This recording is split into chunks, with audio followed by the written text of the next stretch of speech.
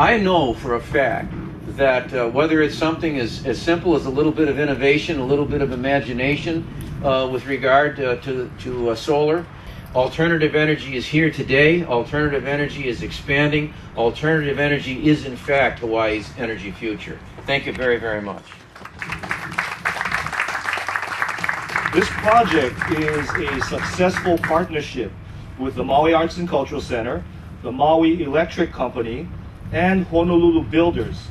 It's SolarCity's first major installation on the Valley Isle, and it's rated at 500 kilowatts.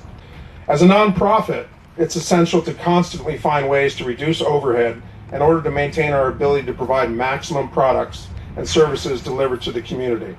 With over 1,700 events a year and over 250,000 people coming through those front gates, it's become essential to look at every opportunity available to minimize our costs and in this case, create our own opportunity.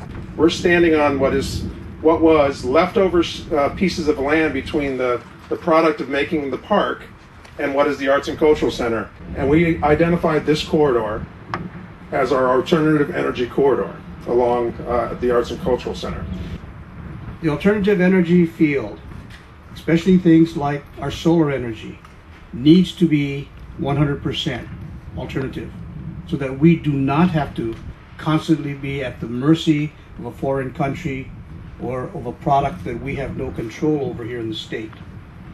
And I want to really truly express our administration's push, and I think I can say ours, Governor, when we say that this is one of the ways we change the whole economic structure of Hawaii to be almost independent from the rest of the United States if they are going to constantly depend on foreign crude and the fight over petroleum products.